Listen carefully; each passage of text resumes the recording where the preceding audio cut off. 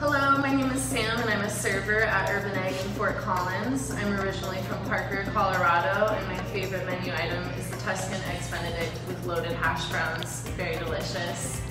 Love working here and interacting with new people. Fort Collins is such a great town to meet people, so it's an honor to be here.